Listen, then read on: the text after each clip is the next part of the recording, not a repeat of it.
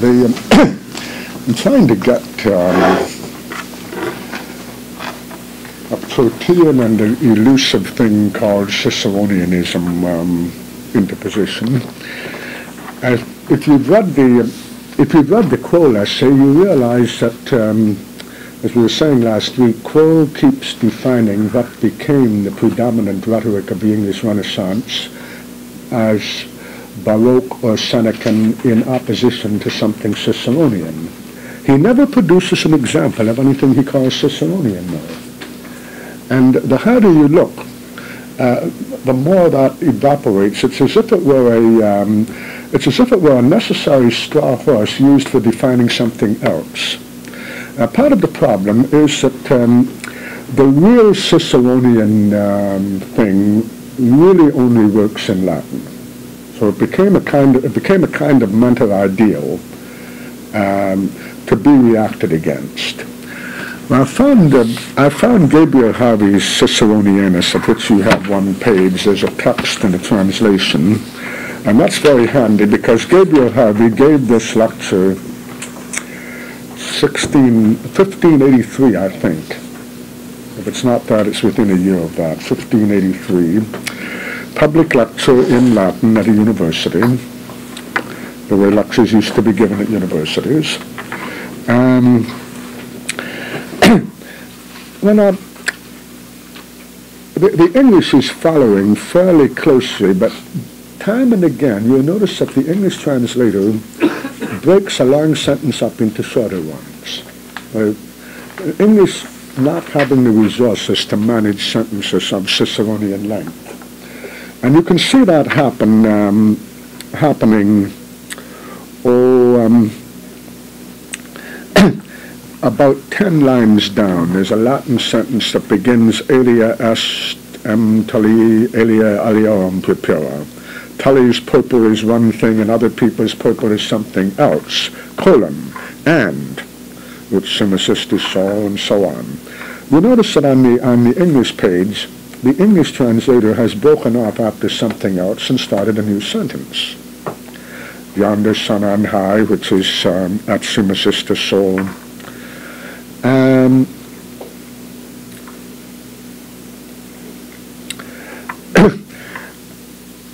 and then he breaks again after behold and, get, and the sentence about homo and things flitting like ghosts is set off by itself. Now that is all one huge syntactic structure in the Latin. It goes all the way from alia down to at et homeros volatera vidianter, as Homer says they are seen to fly around.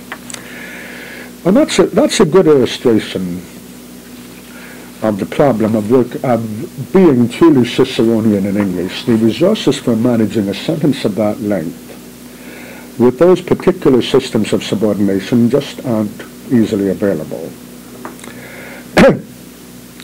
one thing one thing that works, beginning of that sentence again, alia est um, tuli alia eliam pupera the um, Alia, Alia Purpura, the, um, the case endings are holding together words that um, belong together.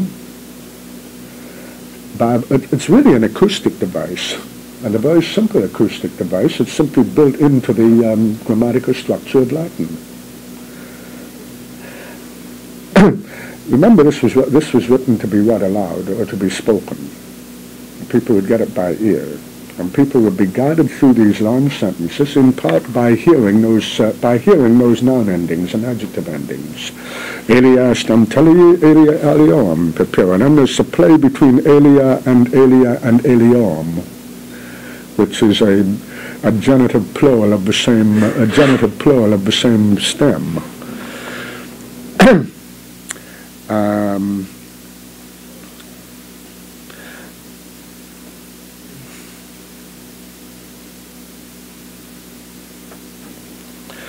You can see all kinds of little internal patterns. A few lines down you can see quae vel soanissima, clarissima, quinocti, calucan, soanissima, clarissima. um, the pairing of pulchritudina ac fulgura, which are two, two nouns in the same in the same case. uh,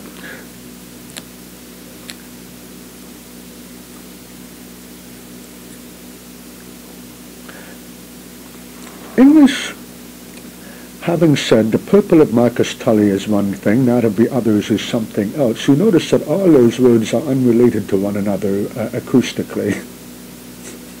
you don't, you don't have the alia, alia, alion pattern, for one thing. You don't have the ah, a, a pattern for another thing. You have totally, uh, acoustically, totally unrelated words. The only thing English can generally do is stop and um, take a breath and begin a new sentence, leave that behind, and go on. People struggled with this because Cicero is um, Cicero and the Ciceronian kind of thing, which involves a very large symmetrical sentence with a great deal of acoustic ornamentation, meant for the ear. Uh, people struggled with this because that kind of sentence was so much admired as obviously a thing we ought to be able to reproduce if we could only find the way. And I'm going to suggest, I, I gave you a piece of the Faerie Queene to suggest that um, it can be done in verse. And the reason it can be done in verse is that the acoustic patterns are foregrounded. Look at on the right-hand page at stanzas 74 and 75. Um,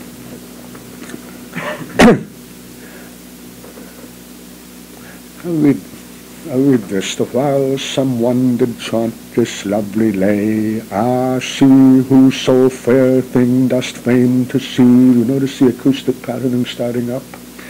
In springing flower, the image of thy day. Ah, see, here it is again. Ah, see the birds and rose, how sweetly she doth first peep forth with bashful modesty, that fairer seems ye see her may.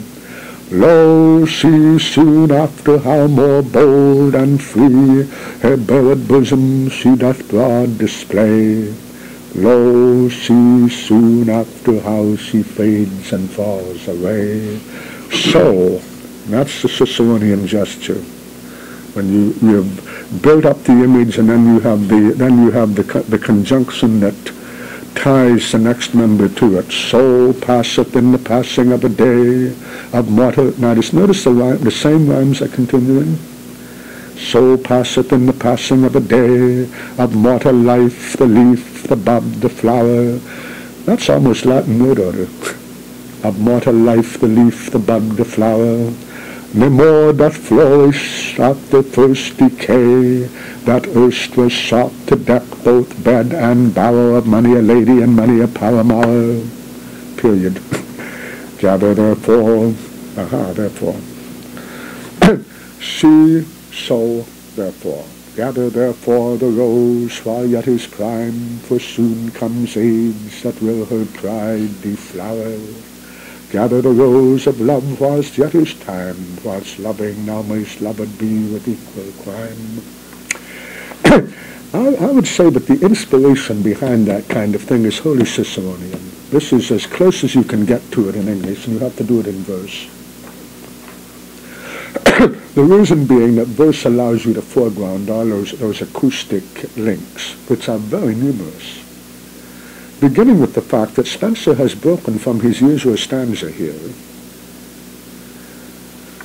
to the extent of running the same set of rhymes, all uh, the same um, set of A rhymes all the way down through, all the way down to the end of the first stanza and into the second run. If you look over on the left-hand page to see what usually happens, the first, the rhyme on the first line appears in the third and then disappears. That's the normal pattern. But there's no law that says he has to obey the normal pattern, especially since he invented the normal pattern. So he he proceeds he proceeds to do it. This this huge um, this huge two stanza effect is hung together by lay, day, may, display, away, day, decay. Meanwhile, see, she, modesty, free, then flower, bower, paramour, prime, deflower, time, climb. There's that. But look what else there is. Look at if you just look at 74, you can see the ah and the low low. And these are working on system. ah uh, these are the good things. Low low, these are the things to which we point with horror.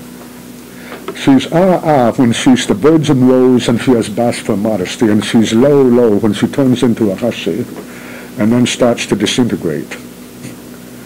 And so those pointers are um, those pointers are dividing that stanza into two parts at the same time the realms are holding it together and carrying it right into the next. There's no reason on earth why this whole thing couldn't be punctuated as one huge sentence. There's a, there happens to be a period after day and another after May and another after Palomal, but those could equally well be semicolons. And quite conceivably, in Spenser's mind, there was no particular sense of where the sentence began and ended. There was a sense of where the um, where the clauses begin and end, and you can punctuate that almost at random. The real unit is the whole stanza. In this case, it's the whole two stanzas. Uh, this, I think, is what is going on in the Faerie Queene. It's the effort to reproduce the Ciceronian period. And um, the fact that Spenser was, felt driven to invent a stanza of that length, based on the, um, I've forgotten what it's called, the stanza that Chaucer uses in the Troilus, and um, which is much, which is uh, about two-thirds the length. That's one That's right, thank you. Thank you. But this is a, an expansion. He, Chaucer feels he needs something even longer. He's, he's, going to do. Uh, he's going to grow these huge, uh, these huge blossoms. But each one is going to be self-contained, and then we start the next. Then we start the next one with a formal gesture and bring it up and terminate it with that Alexandrine. That is not far from the kind of effect that was admired in Cicero. The, the, relative, the relatively large structure of attention containing a great deal of acoustic patterning and also what he's doing in these two stanzas is something the orator did all the time. You point to an example in the natural world or some in some world other than the one you're talking about, and then you say so. And then, if you're really uh, if you're really into the arts of persuasion, you end it with a therefore, and the therefore is what the person is supposed to do. I mean, you always end with an injunction of some kind. So it may just be, therefore, believe what I've told you, or it may be go and do something. In this case, it is go and do something, gather the rose. the figures need not be of any originality. This figure of the rose as the, the, passage of the rose reproducing the passage of human, of human comeliness was all over the place. Waller used it, you remember, a hundred years later. Drew exactly the opposite moral. I mean, the opposite moral is, uh, as the rose is fragile and transient, so is human beauty, so don't invest anything in human beauty this um, this subversive this subversive business is saying invest everything in human beauty while you can get it. And that, of course, is that, of course, is Spenser's point. This is this is um, this is not a good place to be in. This is where they um, this is where they go in for this kind of um, subversive persuasion. Look at another one on stanza 71 on the left-hand page. Uh, this is interesting just because of the, the pure me mechanism of the linkage, which again is, a, is an orator's device. The joyous birds shrouded in cheerful shade, their notes unto the voice a tempered sweet. The angelical soft trembling voices made to the instruments divine respondents meet.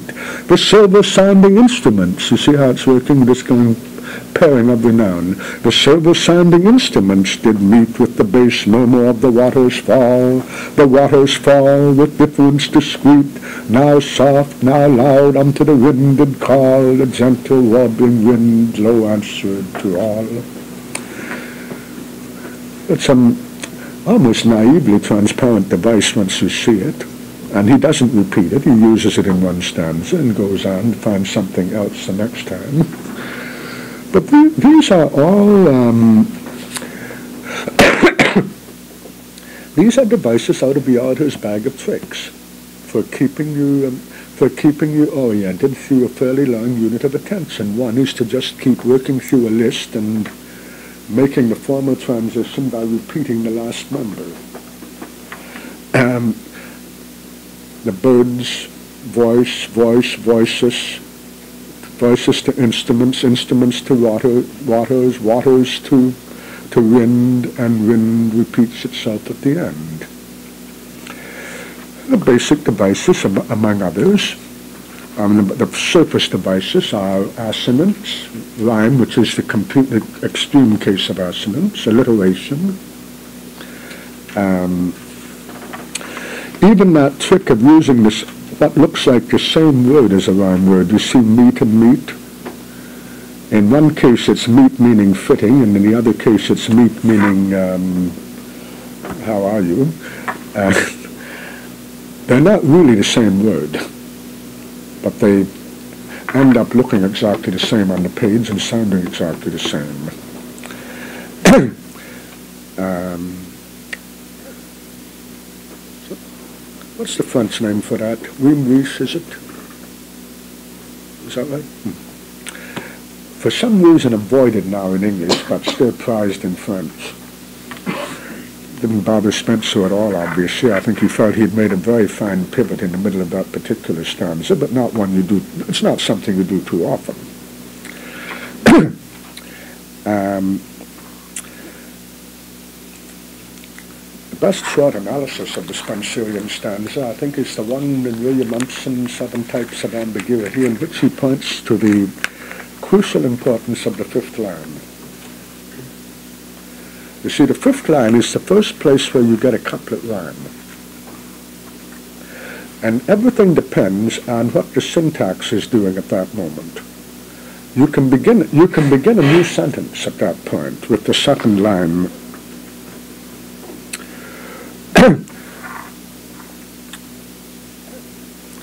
as in stanza 72, where the um, where it says, "And witchcraft she from far did thither bring," and then you have a, a real you have a colon. It could be a period, a real stop, and then there she had him now laid a slumbering, and we've started we've really started a new syntactic member.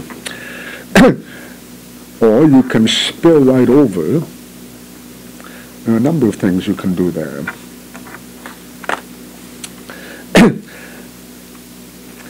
But this, this poetry is very close to, it's very close to rhetoric. It's, certain, it's, it's not only meant to be taken in by ear, which is one reason we find it monotonous when we just look at it. It's, it's meant to be taken in by ear. Um, it's full of ornamentation for the ear, and it's the unit of its effects is, can be surprisingly long. I've shown you one that spills over two whole stanzas. I wouldn't be surprised if you could find even longer ones. And the Alexandrine, of course, is an, an, a formal way of telling the ear that a, that a stanza has ended. And what that means is it's a way of telling the ear that a whole unit of concentration has ended. Now we're going to go on to something else. And you'll notice that each stanza is, has, a new, has a new subject the sense we have that narrative about to keep pushing forward is not working here. um,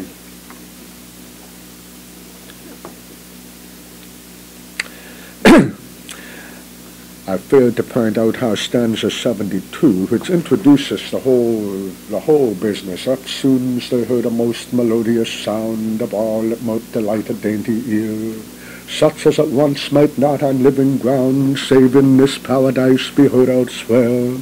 Right hard it was for white, right hard it was for white, there's an verse.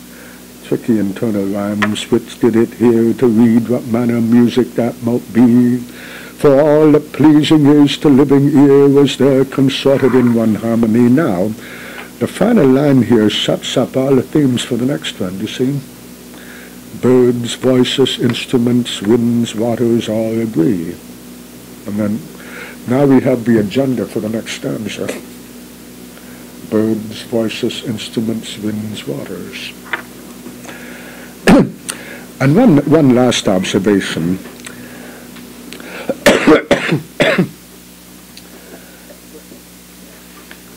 we allow, or at least we allowed in the 16th century, a poet to um, play tricks with word order.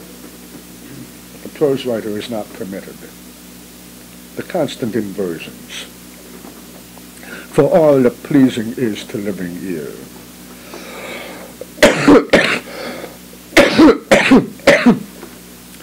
now, one way of putting that is that the, the verse writer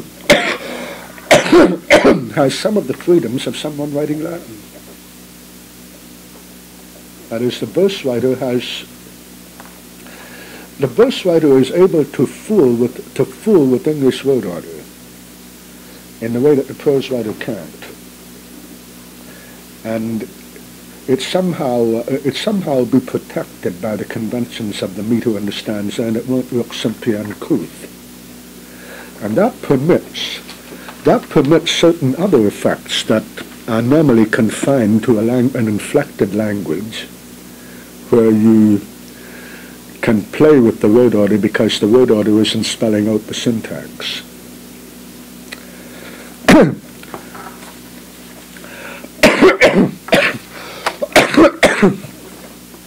you can see the um, you can see limitations obviously. Um,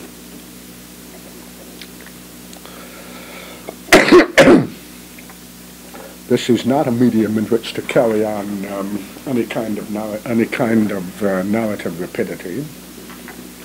Spenser obviously understood that and never tried. It's a medium that offers you things on which you can linger. It breaks down into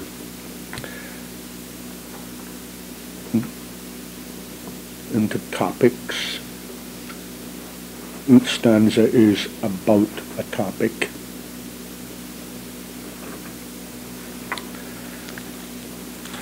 Topic from topos, the Greek word for place, and we're right to the commonplaces. That's what topic means, it's a place. It's a, it's a place where a, num- a number of things that belong together are somehow together. the use of a vague metaphor, vague metaphor, it was never quite clear whether the place was your notebook or your mind or some some metaphysical place where the great uh, where the great themes just assembled themselves platonically. anyway, looking for something like English Ciceronianism, parts of the Faerie Queene about as close as I can come. And the fact that it's in verse, not in prose, I think is interesting a, a sense that English prose won't quite accommodate this. And when you um, attempt a Ciceronian pastiche in English, you're going to find that the sentences can't be as long as you'd like them to be, that the devices that you're debarred from, notably devices of word order, that you have to go a little easier on the sound patterning than the, than the poet does. Now look at um, look at this thing called the Petit Palace. This was this was is part of a long book written, you'll be glad to know, by a man named Pettie. And that's why it's a, that's why it's a Petit Palace. He's uh, he's having his he's having his little game right in the title. Um, let's see if I, where's a good place to break into this. Um, oh, page 29, about 10 lines, about line 8. Yes, no doubt of it. For like as streams, the more you stop them, the higher they flow.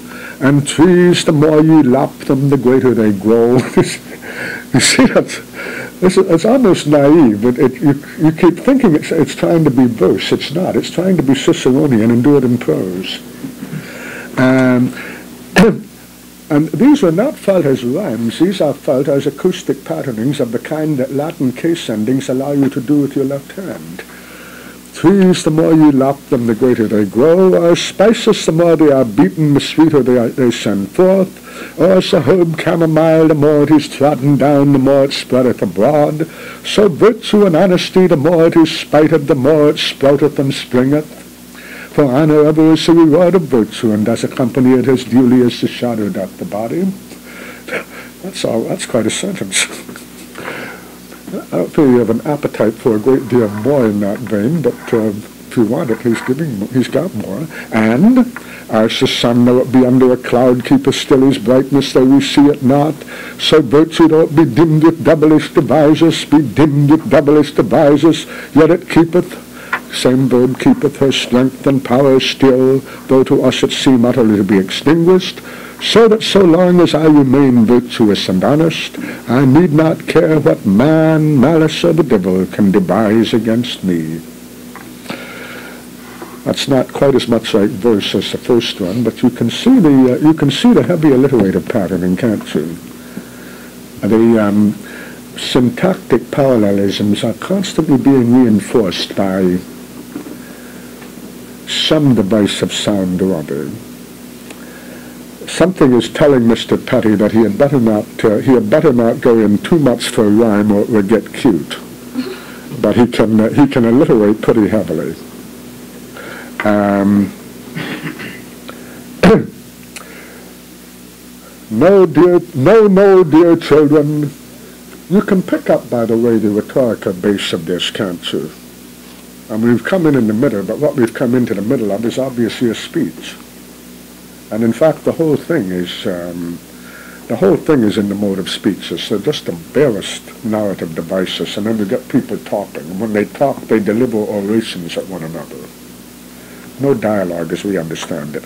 No, no, dear children, you shall not by my means be suspected to be bastards.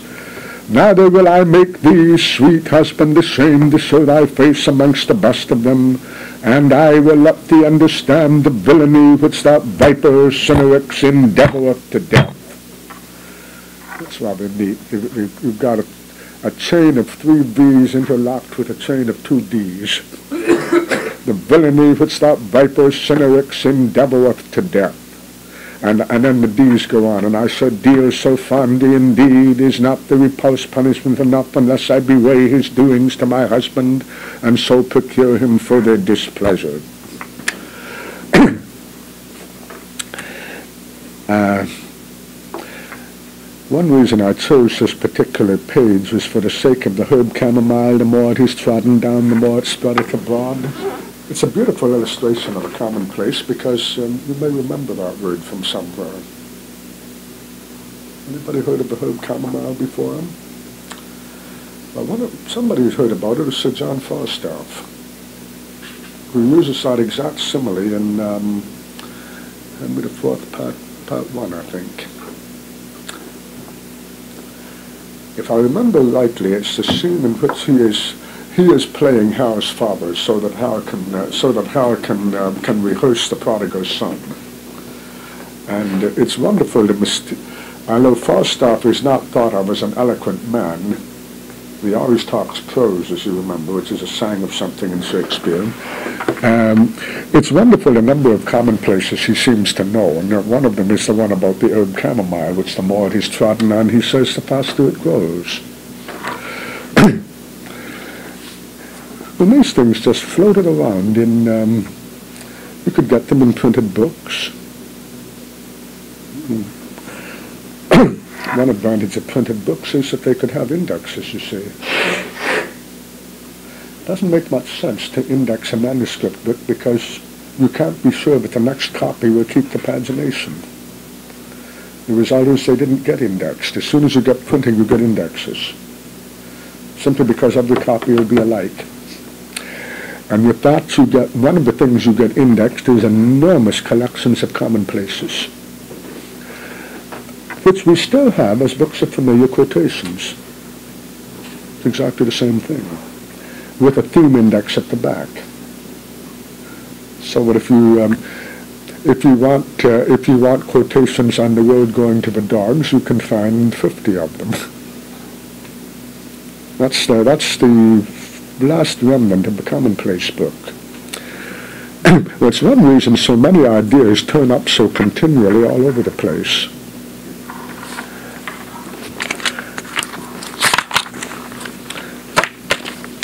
With the purpose, with the purpose of obtaining copiousness, which, by the way, is the etymology of copybook copybook was the book in which you got, in which you put the materials that enabled you to get achieve copia.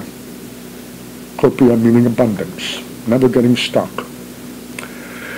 You can see on these three examples that there's very clearly a premium being placed on being able to prolong a topic, to adduce more and more examples, and to do this with a, um, a kind of symmetrical gracefulness as far as what is being said goes, it could be put generally in a sentence, but uh, that wouldn't be copia.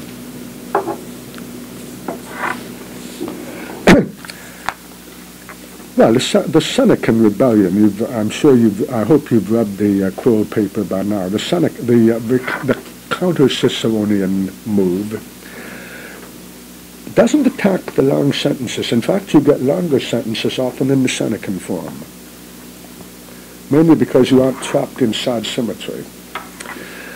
What it tends to do is play down acoustic figures and play up um, what we call figures of thought. That is, antitheses are there to express real contrasts, not just to get nice pairs of words with which we can now do something symmetrical and um, acoustic figures, alliteration, assonance, and so on. Sometimes these are felt to be unworthy jingling, unworthy jingles. You want more matter and less art, and it's that kind of art. Sometimes they're felt to be real impediments to attention. I think that's what happens to most of us trying to read the Faerie Queene for any length of time. We get, you get, you get so Empson compares it to staring at a very bright light for a long time, and eventually you just get a huge, a huge blur in the center of your field of vision, and you can't see anything else. It's not a bad simile. it, it's a kind of um, acoustic overload going on. well, the Senecan, what the Senecan discards chiefly is balance. It tries to keep, it keeps the, uh, it keeps the big sentence unbalanced. It will end it with an epigram that was not foreseen, something of that order. Um, well, this this leads to two other examples. I couldn't avoid bringing Euphues along because um, if we talked about the 16th century and not about Euphues, you'd want your money back. Um,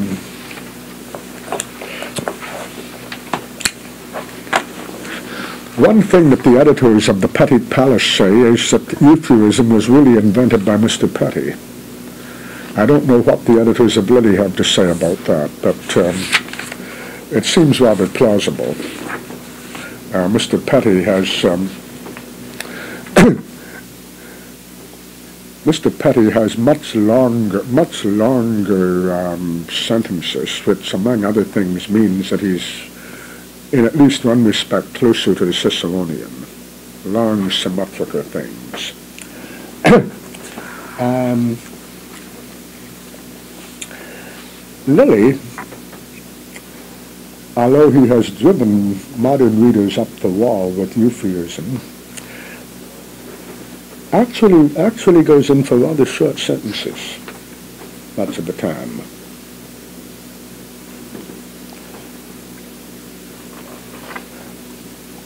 Or at any rate, rather short clauses. I hope I've conveyed to you that uh, the, the, word sentence is extremely fluid around here. It sometimes, uh, it sometimes doesn't matter very much whether you have a period, a colon, or a semicolon. It's almost as if that were done at the whim of the printer. As I said of the Faerie Queene, there's some of that two-stanza showpiece could very well have been printed as one sentence. I'm, I have no idea who was responsible for the punctuation. One thing we know about Renaissance printers is that they didn't necessarily follow copy. They punctuated their own way.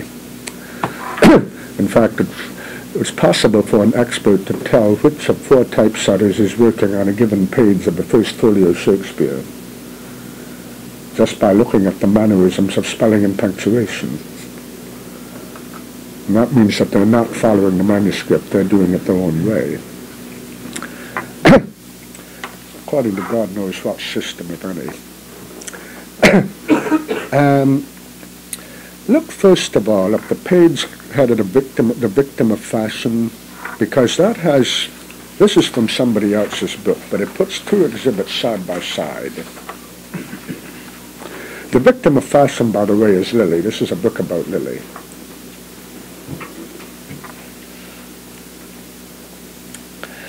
And he give, he's giving us I, I find this rather helpful. He's given us two examples of, of more or less euphuism by different people. One of them is, the second one is by Lyly, number two, and the first one is by um, Shakespeare's old enemy Greene.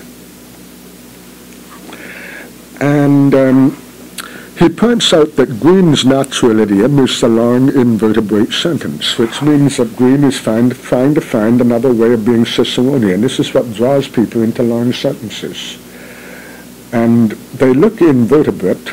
They don't look invertebrate when Spenser does it because there's so many acoustic devices holding them together. When you take those away, then you start looking for syntactic vertebrae and they're hard to find because these things tend not to have syntactic vertebrae.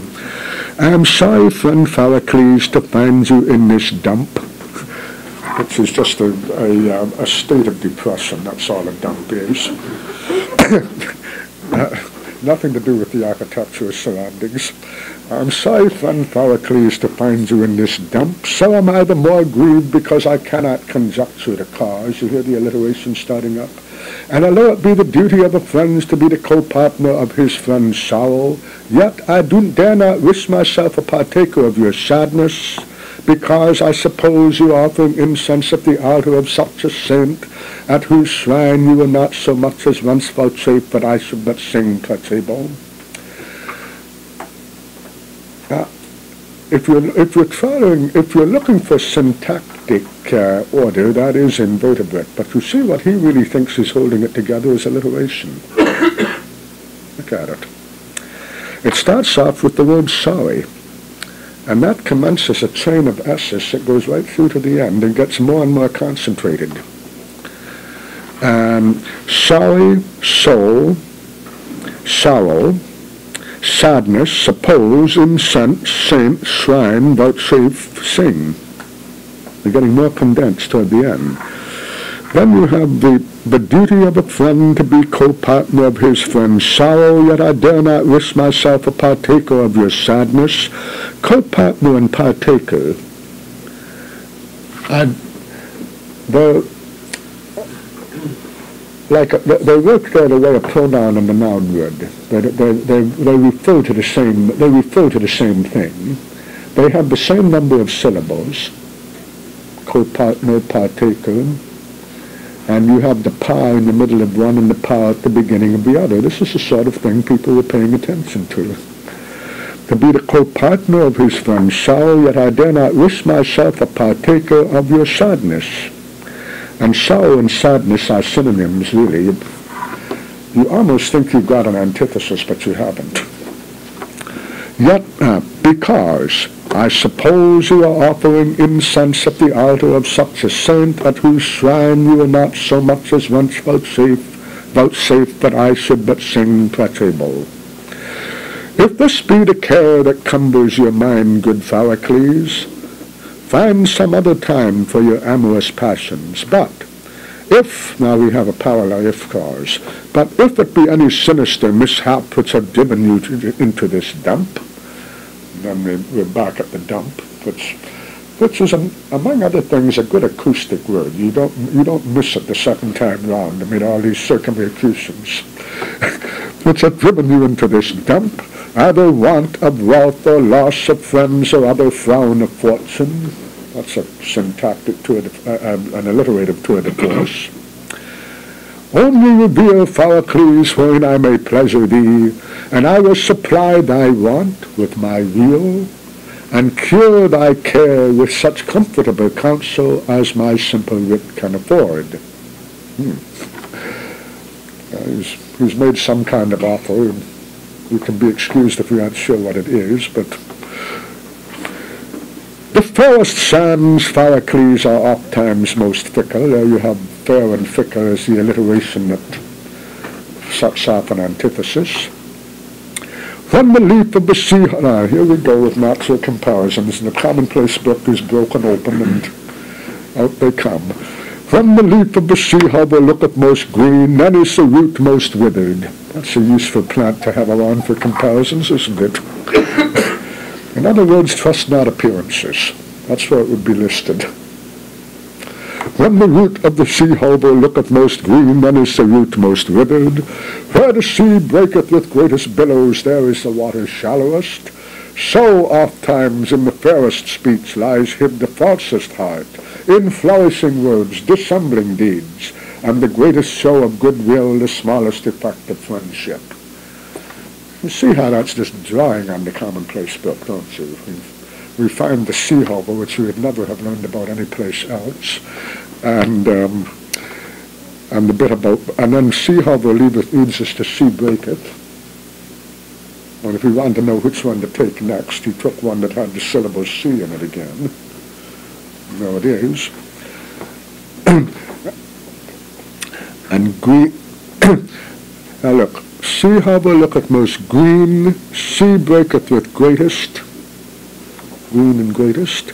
Then, then is the root most withered, there is the water shallowest, withered and water. We managed to keep the um, pairs of letters working in um, comparable parts of this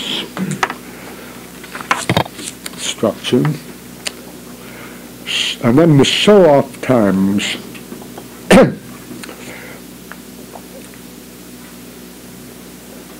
I don't know what the virtuosos of this kind of thing would have done without the word so. It has the advantage in English of being a monosyllable that is extremely audible.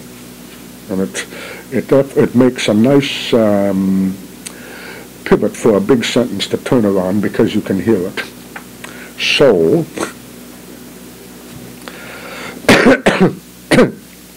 oft times in the fairest speech lies hid the falsest, the falsest heart. Fairest speech lies hid the falsest heart. That's almost blank verse. In flourishing words, dissembling deeds, fairest, falsest, flourishing. Then we get the two D's, dissembling deeds. And in the greatest show of goodwill, the smallest effect of friendship greatest good and then greatest smallest a purely um, a purely semantic um, opposition. Greatest, smallest effect of friendship. I cannot, Pharicles, paint out my affection towards thee with colored speeches, nor decipher my amity with the pencil of flattery. Now we're moving vaguely into um, um, all artists' analogies, colored speeches. A pencil, a pencil until very late was something you drew with. Dr. Johnson uh, wanted Sir Joshua Reynolds to promise never to use his pencil on Sunday. And what that meant was don't make pictures. I don't know when that, I don't know when that meaning of pencil went away. We, started to think of a pencil as a, a humble writing implement. It, it, it could mean anything including a paintbrush. I cannot paint out my affection towards thee with coloured speeches, nor decipher my amity with the pencil of flattery. Notice the, uh, notice the connection of colour and deceit, and pictures and deceit. That is one of the strangest things about the um, uh, presuppositions of Renaissance rhetoric is const- the visual is always the world you mistrust. Notice that we have the we still we still say specious. A specious argument, meaning that it looks okay, but there's something badly wrong with it. And that is the same root as a word like spectacle. Specious is something you see. The idea that the eye deceives, the idea that um, what you look at is um, is a paint job, as likely as not. It goes with all those invectives against women using makeup. this, this is felt to be in accordance with the uh, it's thought to be in accordance with the general deceptiveness of anything visual. Human beings oughtn't to be um, augmenting that bad habit of nature. So here, we, what that means is you trust the ear, you see. You trust the ear. You, don't, you never trust the eye. And when you start hearing about colored speeches and the pencil of flattery, when you shift over to the visual metaphor, you're shifting over into the realm of deceit. I dwell on that because in a couple of weeks we're going to encounter the total shift of that to the point where by the um, by the 18th century, the only sense you trust is vision. And you say it's apparent. Any fool can plainly see. And uh, what comes by ear is false flattery. It's a, very, it's a very curious reversal. And it has all kinds of syntactic repercussions. Because you reach the point where the sentence you trust is the sentence of which you can visualize a diagram.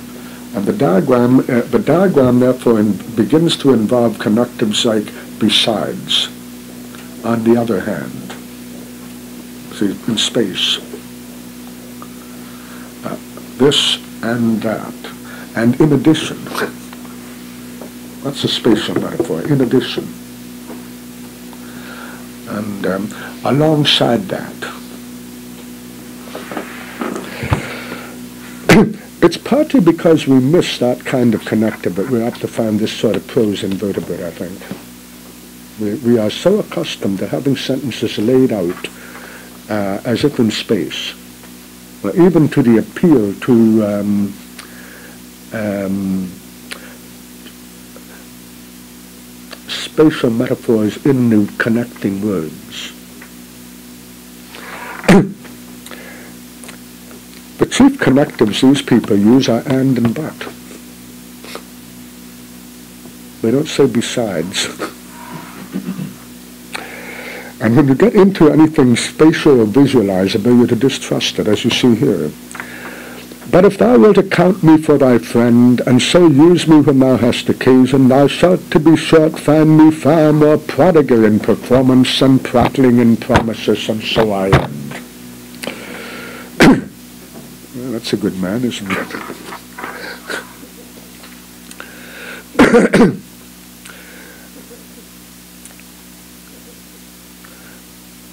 This is um, this is uh, greeting Pericles, who is in a who is in a dump, and then now we have Lyly's uh, Philautus greeting Euphues, who is also in a dump. Friend and fellow, as I am not ignorant of thy present weakness, so I am not privy of the cause. A much shorter unit of attention right away. And although I, you see, that's all, that's really completed. You could, you could have a period there if you wanted. And although I suspect many things, yet can I assure myself of no one thing. again, it's, it's pretty short. Therefore, my good Euphues, for these doubts and dumps of mine, either remove the cause or reveal it, period. Thou hast hitherto found me a cheerful companion in thy mirth, and now shalt thou find me as careful with thee in thy moan, period. The acoustic patterning is still going on, that's clear, but the, uh, the numbers are pretty short. Um, I'm not going to say they're epigrammatic, but they're, they're pushing that way. If altogether thou mayst not be cured, yet mayst thou be comforted. You begin to pick up a favorite device, which is to have two parallel clauses, or two antithetical clauses, and end them with a pair of words that alliterate, so that you, you're cured and comforted. Um, remove the cause or reveal it. If altogether thou mayst not be cured, yet mayst thou be comforted. If there be anything that either by my friends may be procured, or by my life attained, that may either heal thee in part or help thee in all, See how careful he's being with very small units of, of, of um, symmetry.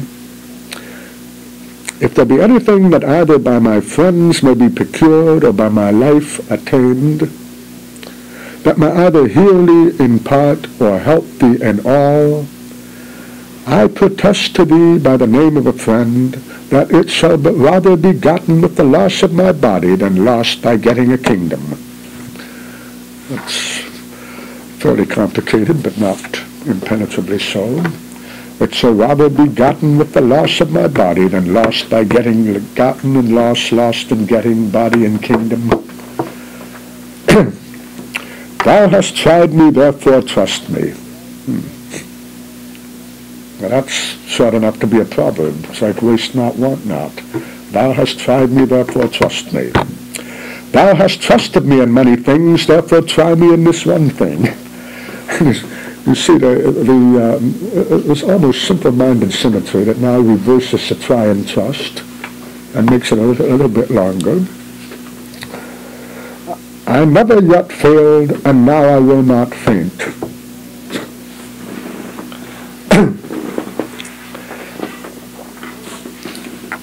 Be bold to speak and blush not. Thy sore is not so angry, but I can solve it. Thy wound not so deep, but I can search up Thy grief not so great, but I can ease it. That's a, that's a three-decker. We, have been having twos down to now. Now we, now we have a, a triplet. If it be ripe, it shall be lanced. If it be, if it be broken, it shall be tented. Be it never so desperate, it shall be cured. That's another three-decker. Somebody's counting. see, we, we moved from twos to threes now. Rise, therefore, Euphues, and take heart at grass. Younger thou shalt never be. Pluck up thy stomach. That's the uh, metaphorical stomach, which means courage, obviously. It's nothing to do with a pot belly. Pluck up thy stomach. If love itself have stung me, it shall not stifle thee. Stomach, stung, stifle. We're getting threes now, but they're in alliteration, not in uh, syntax. Though thou be enamored of some lady, thou shalt not be enchanted. Back to a pair.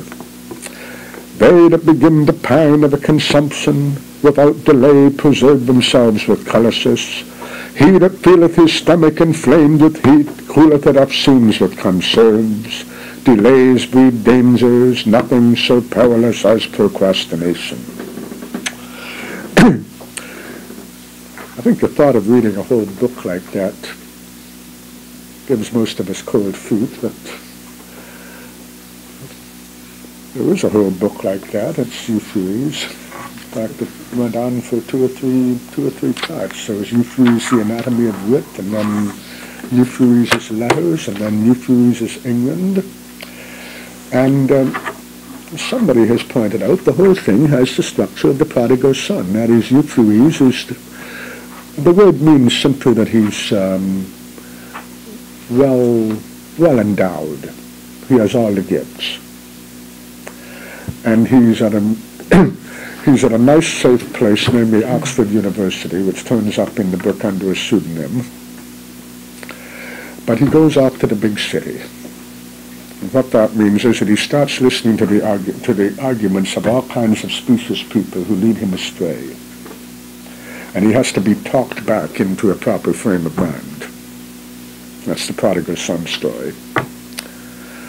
The result is that you can have all the pomps and vanities of this wicked world um, spread out before you with all the, with all the insidious things people say to lead the young astray into said pomps and vanities, and the way the young can pull themselves together and get back to Oxford and live moral, moral and um, strenuous lives. it's the anatomy of wit because in Lyly's in Lyly's usage, wit is um, the kind of thing Satan whispers into your ear. It's, uh, it's that kind of wit.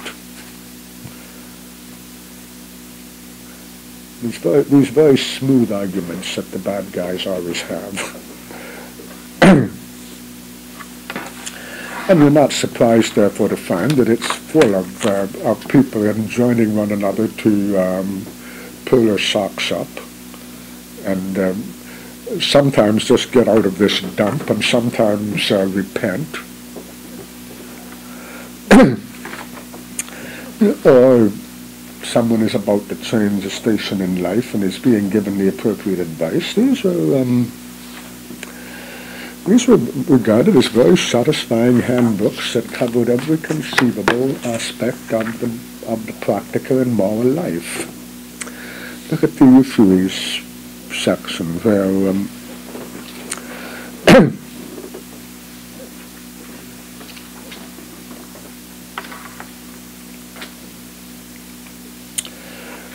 where the father speaks with his daughter at leisure, and having knowledge of her former love, spake to her as followeth, Dear daughter,